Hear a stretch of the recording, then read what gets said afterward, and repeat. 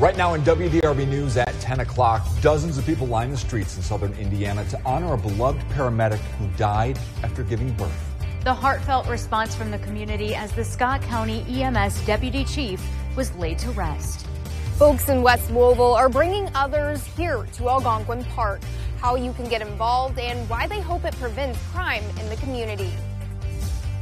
And temperatures are heating up for your Sunday. Heat index values will soon follow. We're going to see when numbers will reach the triple digits this week. I'll let you know when you can expect excessive heat.